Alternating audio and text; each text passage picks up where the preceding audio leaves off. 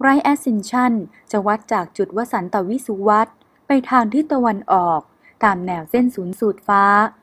โดยจะมีหน่วยเป็นเวลา ชั่วโมง นาที และวินาที หน่วยของ right ascension จะสัมพันธ์กับมุม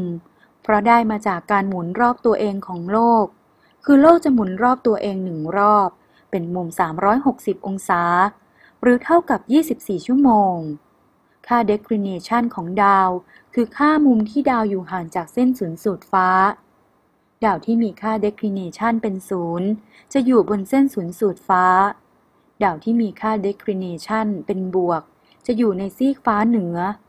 และดาวที่มีค่า declination เป็นลบ จะอยู่ในซีกฟ้าใต้ เช่น ดาวมีค่า right ascension เท่ากับ 6 ชั่วโมง และมีค่า declination เท่ากับ 0 องศา หมายความว่า ดวงดาวดังกล่าวอยู่บนเส้นศูนย์สูตรฟ้า และมุมทิศ 90 องศา ดาวมีค่า right ascension เท่ากับ 6 ชั่วโมง และมีค่า declination เท่ากับ 60 องศา หมายความว่า ดวงดาวดังกล่าวอยู่ในซีกฟ้าเหนือ มีมุมเงยเท่ากับ 60 องศา